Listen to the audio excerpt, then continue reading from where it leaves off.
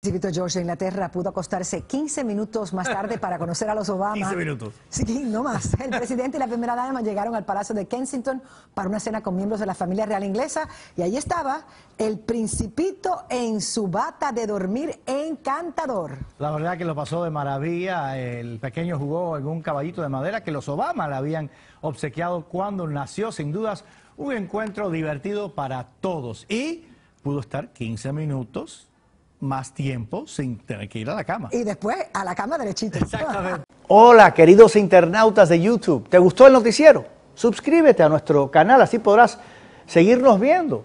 Haz clic en este botón de suscribir y no tendrás que ver videos de mala calidad en otros canales nunca más. También puedes entrar a telemundo.com y ver nuestros reportajes. ¿Qué esperas?